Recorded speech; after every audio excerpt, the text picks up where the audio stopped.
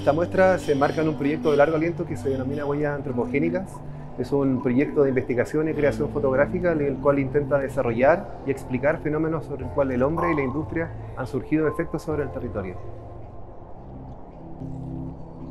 Bueno, esta muestra lo que pretende es reflexionar y concientizar en torno a nuestro entorno. Actualmente vivimos en una era que se le denomina el antropoceno, que es la sucesora al holoceno, en el cual eh, el, impacto del hombre como ha sido repercutido en toda nuestra escala global.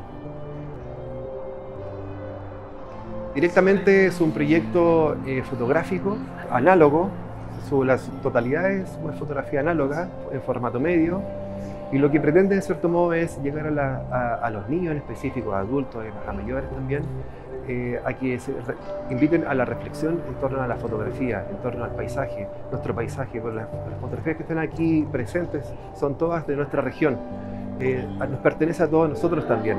Entonces la idea es, eh, en, cierto modo, englobar el cuidado, la reflexión y el pensamiento a cómo nosotros nos desenvolvemos con nuestro entorno.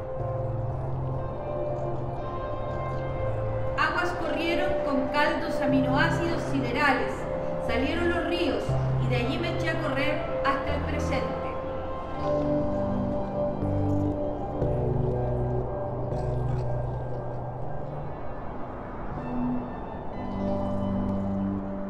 Es un trabajo de largo aliento que también he estado trabajando colaborativamente con la poetisa Díaz Huentén, que en un vaivén creativo y literario, eh, artístico y también mutuo, se condensa una mirada amplia acerca del río Biobío, desde perspectivas biográficas, desde perspectivas políticas y desde perspectivas medioambientales.